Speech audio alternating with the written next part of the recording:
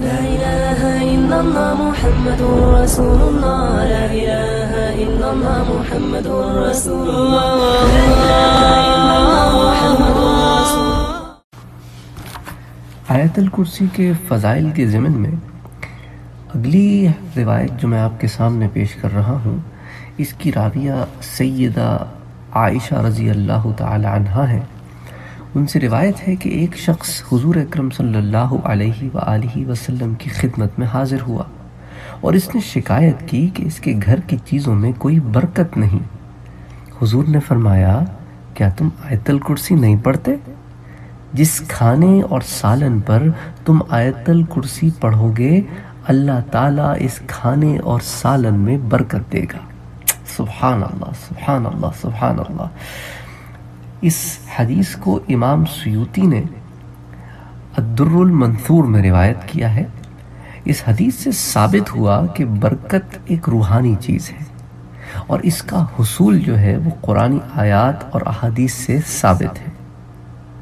اور یہ جو اس کا انکار کرتے ہیں کہ اس کی شرعن کوئی حیثیت نہیں ہے، یہ ایک غلط بات ہے، کیونکہ احادیث مبارکہ سے بالکل یہ بات ثابت ہوتی ہے کہ روحانی چیزیں بھی ہوتی ہیں اور برکات و ثمرات بھی ہوتے ہیں اور ان کا حصول قرآن آیات اور احادیث سے ثابت کلمات عدیہ سے بھی ہوتا ہے۔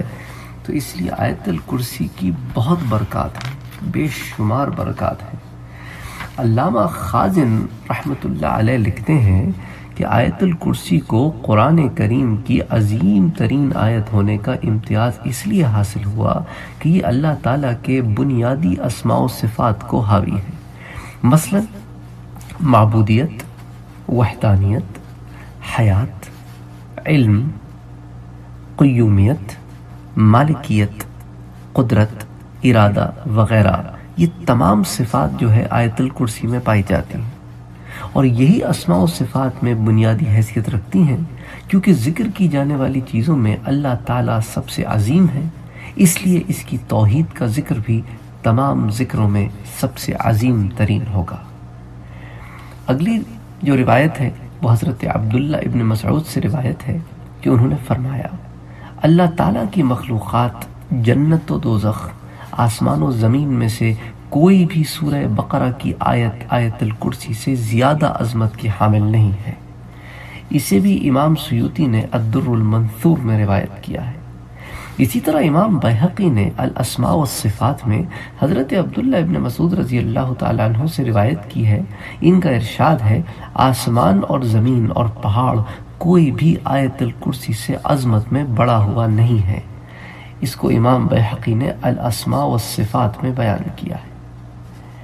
حضرت عبداللہ ابن عباس رضی اللہ تعالی عنہ سے روایت ہے کہ حضور اکرم صلی اللہ علیہ وآلہ وسلم نے فرمایا، جو شخص ہر فرض نماز کے بعد آیت الکرسی پڑھتا ہے، اسے اللہ تعالیٰ شکر گزار بندے کا دل، صدیقین کا عمل اور انبیاء کا ثواب عطا فرماتے ہیں اور اس کے اوپر اپنا دست رحمت پھیلاتے ہیں۔ اور وہ شخص جب انتقال کرتا ہے، تو کر انتقال کرتے ہی جنت میں داخل ہو جاتا ہے۔ سبحان اللہ سبحان اللہ سبحان اللہ اس روایت کو بھی امام سیوتی نے الدر المنثور میں روایت کیا ہے۔ وَبَعَلَيْنَا إِلَّا الْبَلَاغِ۔